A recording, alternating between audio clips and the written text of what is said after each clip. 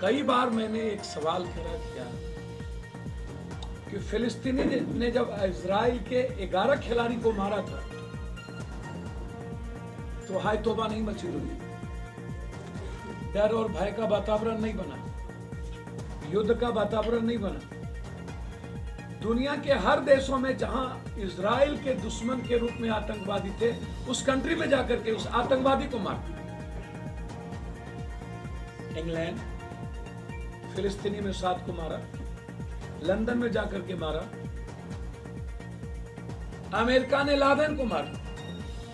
युद्ध का माहौल नहीं बना, राजनीति नहीं हुई, जश्न नहीं मनाए गए।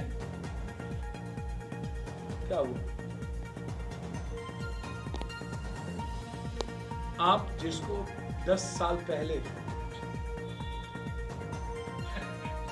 खुद पाकिस्तान में जाकर के छोड़ के आए हैं।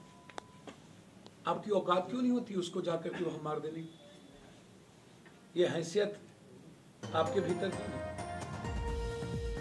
किसने रोका? आप क्यों नहीं गया? जाइए ना।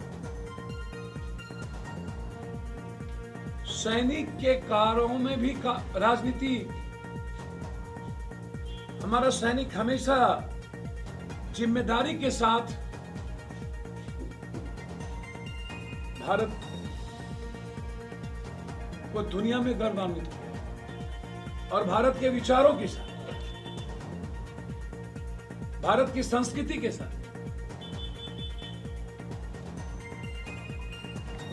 राजनीति का कतई इस्तेमाल देश हित में इंसानियत और मानवता के हित में नहीं होनी चाहिए। अभी तक इस देश की सरकार ने इस बात की जानकारी नहीं दिया कि साढ़े तीन सौ क्विंटल बारूद कहाँ से आए? साढ़े तीन सौ क्विंटल बारूद बाहर से पाए नहीं। किसने लाया? किसने पहुँचाया? यह सवाल जानना चाहता है दुनिया तो फिर आप बताते क्यों? कौन है वो आंतरिक समूह? दूसरी बात,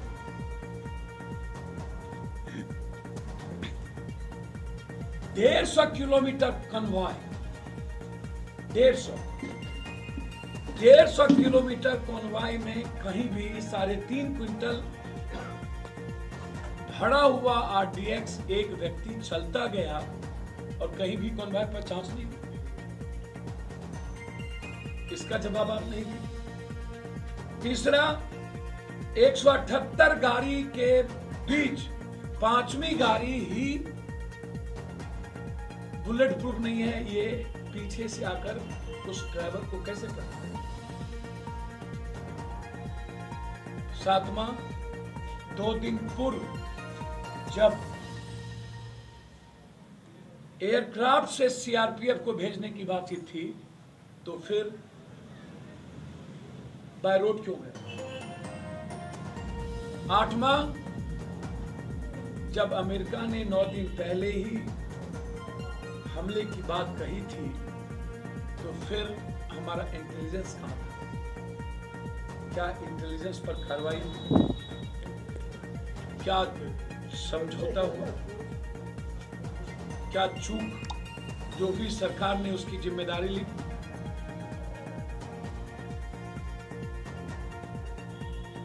चोर मचाए शोर।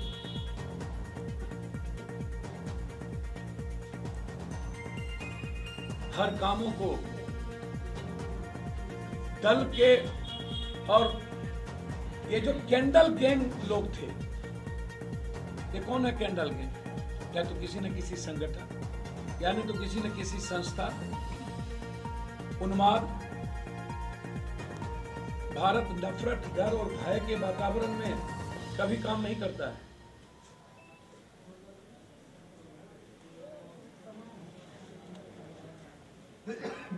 आज जिस तरह के माहौल है,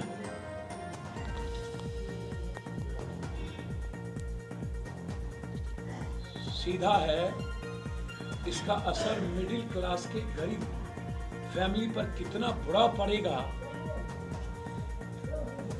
आप जिस तरीके से इस माहौल को दुनिया आज कोई युद्ध नहीं चाहती।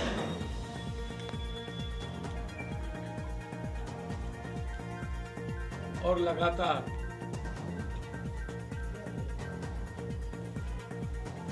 हम सिर्फ़ वातावरण पैदा करें और आतंकवादियों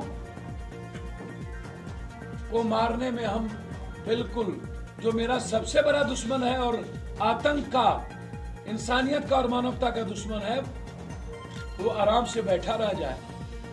तो इसराइल और अमेरिका से सीखिए ना। दुनिया को जीतिए ना।